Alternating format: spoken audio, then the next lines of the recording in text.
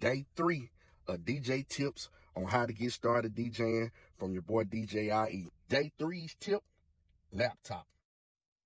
The laptop is what runs your DJ software. It's also where you store your music files. A lot of people debate on if you should have a Mac or a PC laptop.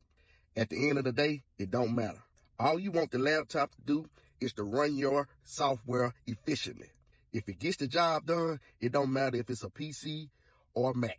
Me personally, I use a Mac, but I know plenty of DJs that's doing gigs every day of the week that's using a PC laptop. Assignment. Whatever software you're running, look at the system requirements for that software and that should help you decide which laptop you should use. If you already got a PC, use that. If you already got a Mac, use that. You don't have to go out and get the top of the line laptop when you're getting started out. Just get started and get familiar with it first. Recap. Day three of DJ tips on how to get started DJing from your boy DJ IE laptop. See you tomorrow when we're going to discuss who.